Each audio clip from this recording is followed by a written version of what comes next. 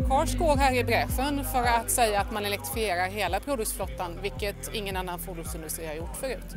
Och det visar så tydligt hur, hur, hur vår forskning bidrar till, eh, till den här omställningen.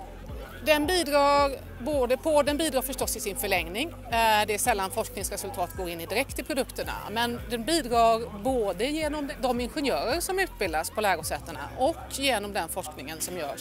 Och forskningen är allt ifrån kompletta drivlinjesystem till ner på komponentnivå. Vi på Chalmers och på Electromobility Center välkomnar varmt det här eh, initiativet från Volvo Cars och ser hur det är ett viktigt steg i, i, eh, i att övergå till en fordonsfri transportflotta.